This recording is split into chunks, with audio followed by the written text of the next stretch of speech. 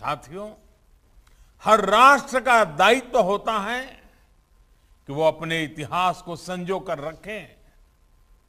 इतिहास में हुई घटनाएँ हमें सिखाती भी है और आगे बढ़ने की दिशा भी देती है। जलियांवाला बाग जैसी ही एक और विभीषिका हमने भारत विभाजन के समय भी देखी है।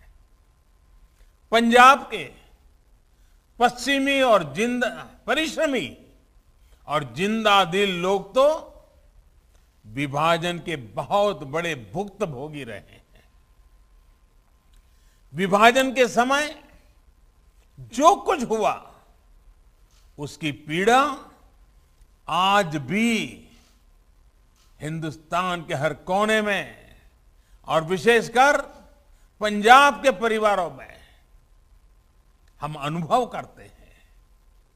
किसी भी देश के लिए, अपने अतीत की ऐसी विभीषिकाओं को नजरअंदाज करना सही नहीं है।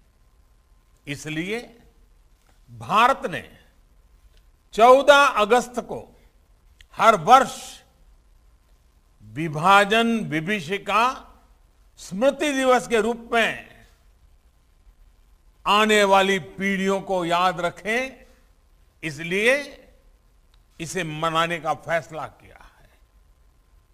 विभाजन विभीषिका स्मृति दिवस आने वाली पीढ़ियों को भी याद दिलाएगी कि कितनी बड़ी कीमत चुकाकर हमें स्वतंत्रता मिली है।